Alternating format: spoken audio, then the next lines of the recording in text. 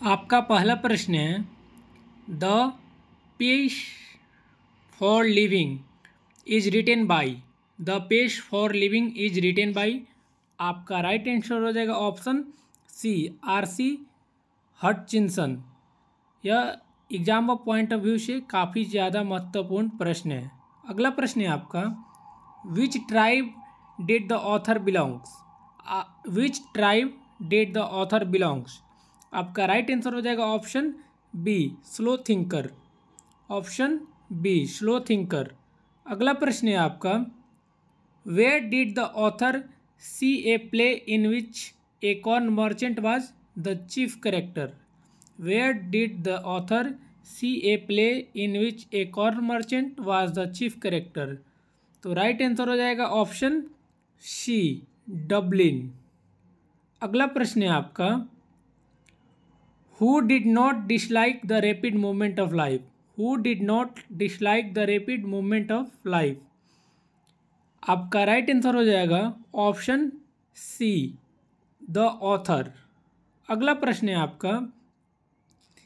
In the pace for living the writer captures the agony of man in the page for living the writer capture the agony of man आपका right answer हो जाएगा option C future अगला प्रश्न है आपका how many girls were there in the film how many girls were there in the film आपका right answer हो जाएगा ऑप्शन बी थ्री अगला प्रश्न है आपका the main character in the play in the play which the author saw was a an corn merchant the main character is the play which the author saw was a an dash corn merchant. तो आपका right answer हो जाएगा option A इल्डरली अगला प्रश्न है आपका, R C Hutchinson was a?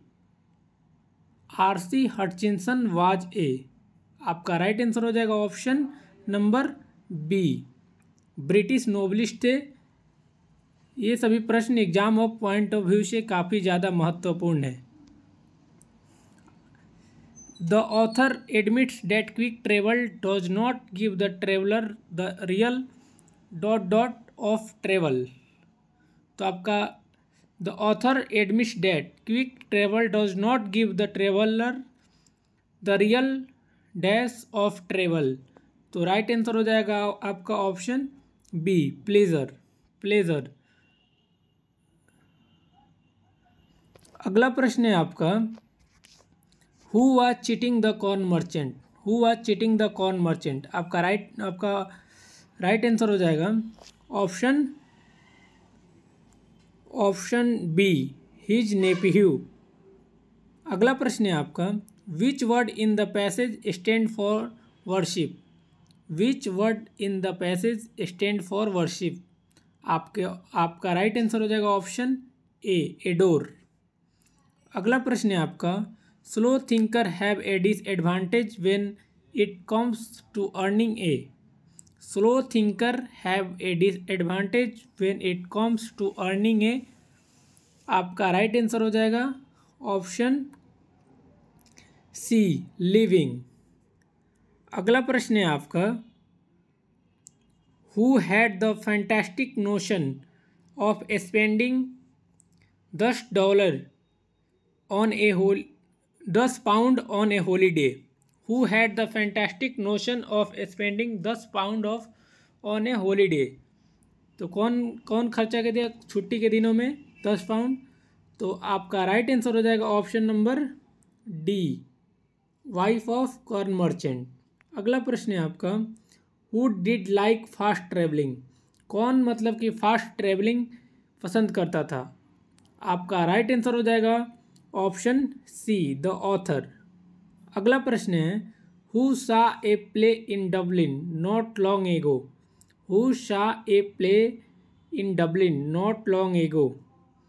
तो आपका राइट आंसर हो जाएगा ऑप्शन सी, आर सी हटचिंसन अगला प्रश्न है आपका, the elderly corn merchant lived in Dublin, a small Irish Irish country town England a big Irish country town तो राइट आंसर हो जाएगा option B a small Irish country town अगला प्रश्न है who was a man of many anxieties who was a man of many anxieties आपका right answer हो जाएगा option number B the elderly corn merchant अगला प्रश्न है आपका all the test today are design to measure all the test today are design to measure आपका right right answer हो जाएगा option number C the speed of mind अगला प्रश्न है आपका the chief character of the play was Dublin an elderly corn merchant an old woman and narrator तो right answer हो जाएगा आपका option number B an elderly corn merchant. अगला प्रश्न है और लास्ट प्रश्न है आपका आज का। The elderly corn merchant was a man of. The elderly corn merchant was a man of. आपका राइट आंसर हो जाएगा option number C anxieties the page for living से आने वाले सभी महत्वपूर्ण प्रश्न हैं। आप इसको करके एग्ज़ाम में जाइएगा ताकि एक भी प्रश्न आपसे ना छूटे। यदि वीडियो अच्छा लगा हो तो वीडियो को लाइक करें और चैनल पर पहली बार आए तो चैनल को सब्सक्राइब करें। जय हिंद, जय भारत।